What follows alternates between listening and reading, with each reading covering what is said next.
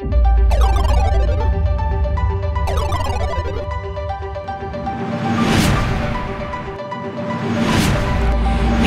a un nuevo video en Informativo 24 Mundial. Unas 14 personas se ahogaron el sábado en la ciudad de Johannesburgo, al noreste de Sudáfrica, cuando terminaron siendo arrastradas por el río Yuskei mientras se realizaba un bautizo, dieron a conocer el domingo los servicios de emergencias.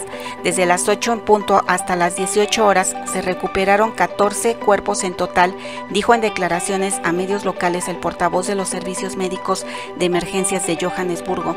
Sin embargo, señaló que aún hay algunas áreas que se tienen que explorar lo que quizá pueda añadir más víctimas a los 14. Los servicios de emergencia dieron a conocer que durante la ceremonia se encontraban al menos 33 personas dentro del río. De estas, unas 15 fueron arrastradas por las corrientes creadas por una tormenta que se desató en las cercanías. Los equipos de rescate han logrado encontrar a una persona con vida que fue trasladada a un hospital local para que pueda recibir atención médica. La policía dijo que en un mensaje para los residentes que sean cautos cuando realicen este tipo de rituales para asegurarse de que se tomen medidas de seguridad para prevenir incidentes como este. No olvides compartir este video y si te gustó dale like, suscríbete y activa la campana de notificaciones.